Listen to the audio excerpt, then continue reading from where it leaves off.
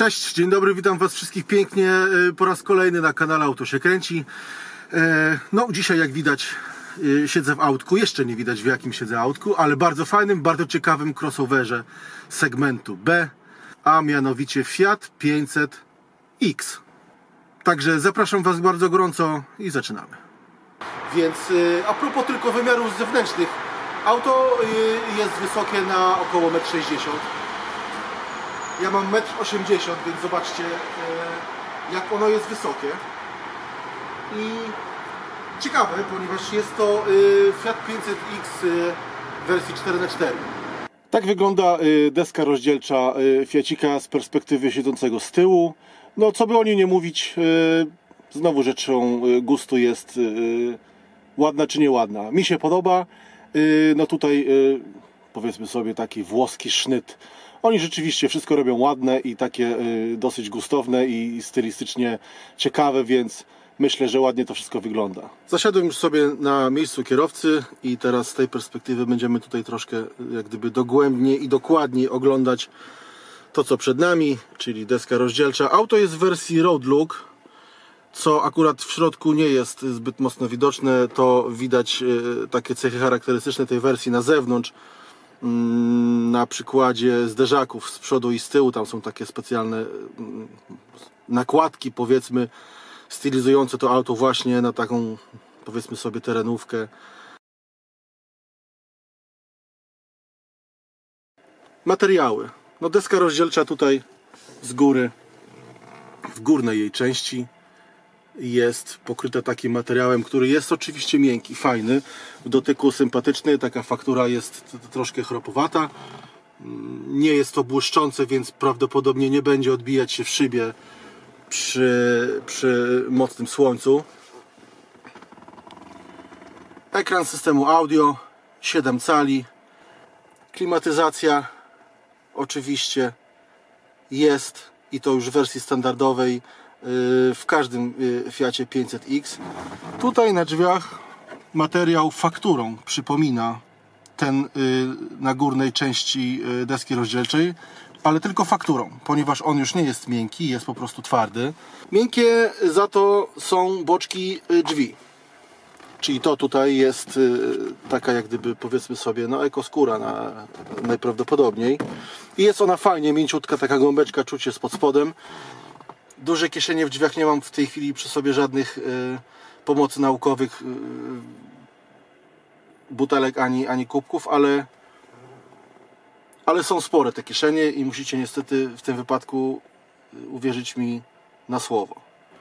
Jeżeli już zacząłem mówić o ekoskórze, to taką samą ekoskórę znajdziemy na obiciach tapicerskich foteli. Jest to całkiem e, schludnie zrobione, ładnie to wygląda. Skórka jest e, na zewnątrz, e, jak gdyby na skrajnej części tutaj fotela. W środku jest, jest materiał o takiej powiedzmy sobie antypoślizgowej fakturze, bo one są takie troszkę karbowane, jak gdyby powiedzmy. Ale Ładnie to wygląda. Foteliki są fajne, sprężyste, ponieważ no, ja swoją słuszną wagę, jak gdyby blisko stówki posiadam, więc yy, siedzi mi się na tych fotelikach fajnie. Nie zapadam się, nie są miękkie, są takie, jak powiedziałem przed chwilką, sprężyste. Siedzi się, siedzi się wygodnie. Nie są one małe, gdyż jak wspomniałem wcześniej, no, posturą też yy, jak gdyby odpowiadam tym 100 kg, więc, więc do takich najmniejszych i najcieńszych nie należę. Tak wyglądają zegary. Za chwilkę je sobie tutaj włączymy czy podświetlimy. Proszę bardzo, ładnie to wygląda. Bardzo mi się to podoba osobiście. Co my tutaj mamy? Aha, czyli rozkład, yy, rozkład tutaj napędu pokazany jest w formie graficznej. Jak już wspomniałem, auto jest napędem 4x4, więc ja za chwilkę yy, króciutko o tym opowiem. Tryby napędu 4x4 przełącza się y, tutaj takim włącznikiem, przełącznikiem na konsoli środkowej y, na zasadzie pokrętła. Są tutaj trzy pozycje. Jak widzicie, tutaj jest dioda, która podświetla nam w tej chwili pozycję auto. W tej chwili napęd i, i, i cała charakterystyka napędu jest rozdzielana automatycznie mm, na podstawie jakichś tam ustawień, powiedzmy już y, fabrycznych. Teraz przełączyłem na tryb y, tak zwany sport. I tutaj y, w tym ustawieniu, ponieważ akurat w tym egzemplarzu mamy skrzynię automatyczną, y, hydrokinetyczną, dziewięciobiegową i w tym ustawieniu skrzynia po prostu zachowuje się jak gdyby powiedzmy sobie w sposób sportowy, czy próbuje naśladować tryb sportowy, a mianowicie y, przytrzymuje ona silnik troszeczkę na wysokich biegach, przeciąga te biegi jak gdyby, żeby wykorzystać potencjał silnika, który tutaj też jest dosyć konkretny, bo, bo jest to wersja 1.4 turbo o mocy 170 koni, więc, więc jest tutaj jak gdyby czym jeździć. Y, No momentu też obrotowego jest tutaj dosyć sporo, bo około 250 Nm.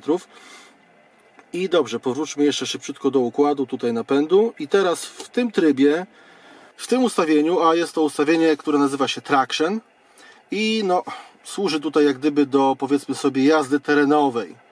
I tutaj w tym ustawieniu napęd przekazywany jest również na tylną oś, mniej więcej w 80% potrafi być przekazany. No i, i służy on tutaj, no tak jak wspomnieliśmy już wcześniej, yy, nie do typowo jazdy terenowej, tylko do jakichś tam lekkich szutrów gdzieś, na przykład, yy, nie wiem, wyplątać się z jakiejś małej piaskowej opresji, powiedzmy sobie, albo na śniegu, czy na jakiejś tam śliskiej, śliskiej nawierzchni. No do tego mniej więcej służy to ustawienie trzecie.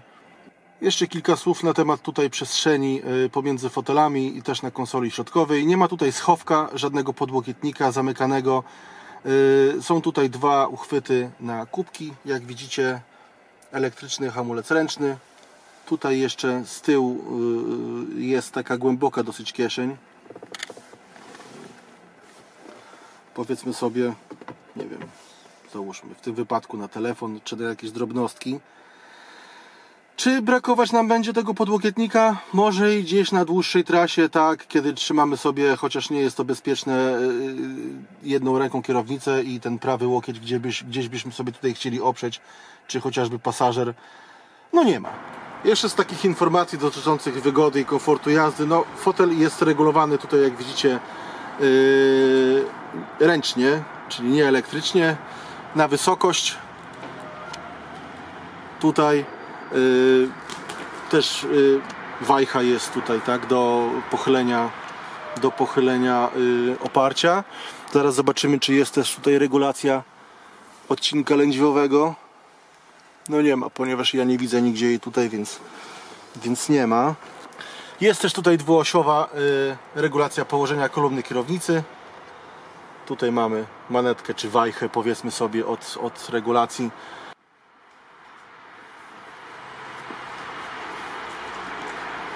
Tak, więc jak widzicie, zasiadłem sobie teraz tutaj na miejscu pasażera i co najważniejsze, wygodnie. Oparcie fotela i sam fotel ustawiłem sobie oczywiście pod, pod mój wzrost, więc taką przestrzeń, jaką widzicie teraz tutaj między oparciem fotela a nogami, jest ona dla mnie wygodna. Nie jest to auto dosyć szerokie. Nie pamiętam teraz dokładnie w milimetrach, e, jaka jest wartość, ale obok mnie usiadłaby jeszcze jedna dorosła osoba i byłoby nam tutaj równie y, wygodnie. Czy chociażby fotelik y, y, dla małego dziecka. No w trzy osoby raczej słabo, chyba że na jakimś krótkim dystansie. Nad głową mam około 10 cm luzu powiedzmy, czy przerwy pomiędzy czubkiem mojej głowy łysej, łysiejącej, a, a sufitką. Jest dosyć sporo, wystarczająco, siedzę prosto wyprostowany, więc nie mam tu żadnego problemu. Jeżeli chodzi o obicie tapicerskie drzwi, to z tyłu jest troszeczkę inaczej niż e, w drzwiach przednich. Tutaj, tutaj faktura plastiku e, jest e, troszeczkę inna, no i jest to tutaj już twardy plastik. Pokażę dla porównania jeszcze raz. Na drzwiach przednich jest tutaj zupełnie co innego.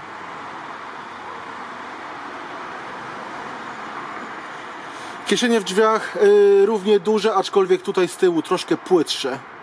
Czyli tutaj do tej kieszeni w drzwiach nie zmieści się tyle samo mm, co w tych y, kieszeniach w przednich drzwiach. No jest, tak jak wspomniałem przed sekundą, troszkę tutaj płyciej, więc rzeczy mogłyby, a przynajmniej butelki y, tutaj no wypaść przy mocniejszym uderzeniu drzwi.